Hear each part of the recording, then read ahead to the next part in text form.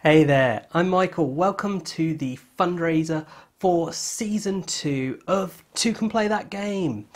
Now, if you don't know what Toucan Play That Game is, it's a YouTube channel making video content about board games. We do all sorts. We've done reviews, previews, playthroughs, how to play, unboxings. So if you want to see examples of that, do check out the YouTube channel.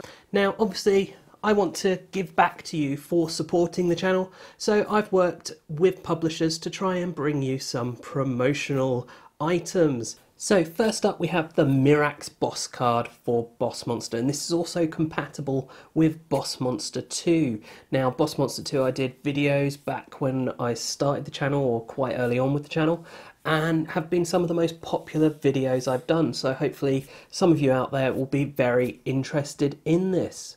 Next is the Bird of Bifrost for Vikings Gone Wild, the board game. This was a game I was lucky enough to do a review of ahead of the Kickstarter. I absolutely loved it and I backed the Kickstarter myself and I've been enjoying playing it since it arrived and I was really pleased with the guys for being willing to work up with me on this exclusive promo that you can just easily add to the Odin's Path and when you buy it, whenever you play it, you just gain victory points. Fantastic card. Then we have the time travel car for Colt Express, the programming cowboy game, and this just looks absolutely fantastic. It assembles as this 3D model. Really thrilled to have this as part of the campaign. Then we have nine promo cards for Statecraft.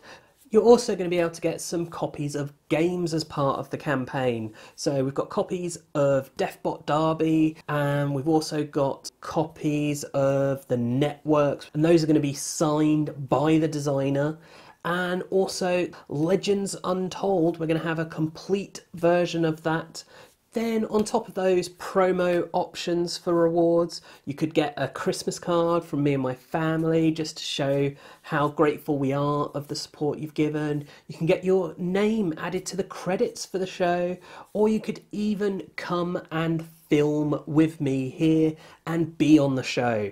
So, I do hope that you are backing. If you can't afford to back, at least please help share and spread the news of the channel. Either way, I'm really grateful that you've sat and watched this video and have even considered backing. And as always, thanks for watching and bye for now.